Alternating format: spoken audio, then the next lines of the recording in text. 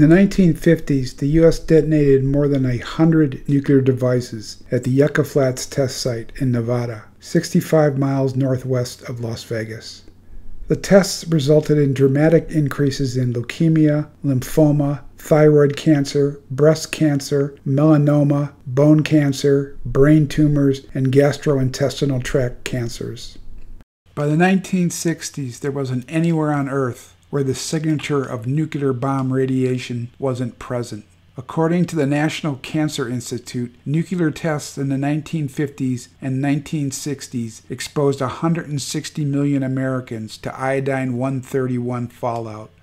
A study by the Institute concluded 70% of thyroid cancers are attributed to the tests.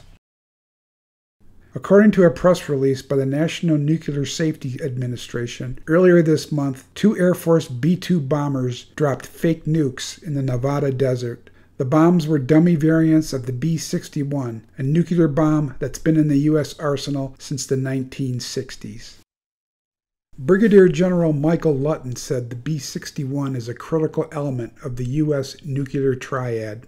The Sandia and Los Alamos National Laboratories worked together on the B 61 assemblies manufactured at the Kansas City National Security Campus and assembled at the Pantex plant in Amarillo, Texas.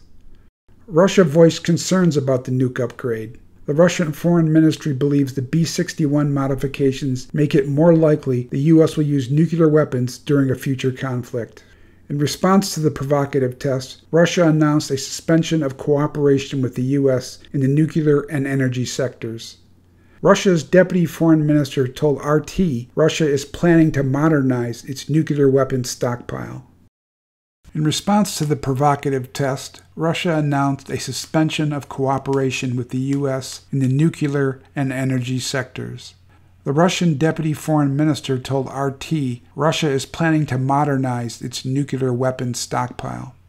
On October 3rd, Russian President Vladimir Putin said his country has decided to withdraw from a landmark nuclear security agreement. Putin said the move was a response to the deterioration of relations between Moscow and Washington and what he called a radically changed environment.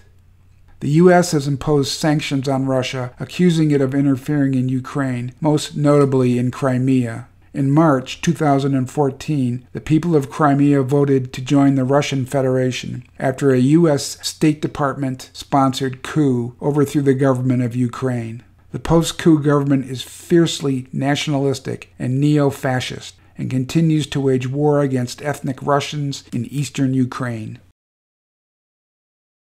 Russia also opposes a U.S. and NATO missile defense system on its border with Poland. The United States insists the system is directed against Iran. Russia argues it's an attempt to destroy the strategic balance in Europe. In June, NATO launched its largest war game in Europe since the end of the Cold War. Russia responded with a large military exercise of its own in August and another in September on land and in the Black and Caspian Seas. NATO said during its Warsaw summit in July it plans to deploy four multinational battalions along the eastern flank, one each in Poland, Lithuania, Latvia, and Estonia. The Pentagon says it'll spend 789 million in 2016 and 3.4 billion in 2017 to bolster NATO's eastern flank. The Nevada test adds a new and dangerous dimension to the growing hostilities between the United States and Russia. The exercise was conducted to send a message to the Russians that the U.S. is prepared to start a nuclear war in Europe. If this seems unimaginable, keep in mind the United States is the only country in the world to have ever used nuclear weapons. The atomic bombs dropped on Hiroshima and Nagasaki in 1945 killed more than 250,000 civilians. Historians claim the attacks forced the Japanese to surrender and subsequently saved the lives of a million American soldiers prepared to invade the Japanese mainland. In fact, the Japanese were negotiating surrender when the bombs were dropped. The attack had little to do with ending the war. Many historians now agree the real reason for the attack was to demonstrate a new weapon of mass destruction to the Soviet Union and kickstart the Cold War. The United States is attempting to launch a new Cold War and a renewed round of obscene military spending that will rake in trillions of dollars for the military industrial complex and the financial elite. Instead of profit, the result very well may be the end of life on planet Earth.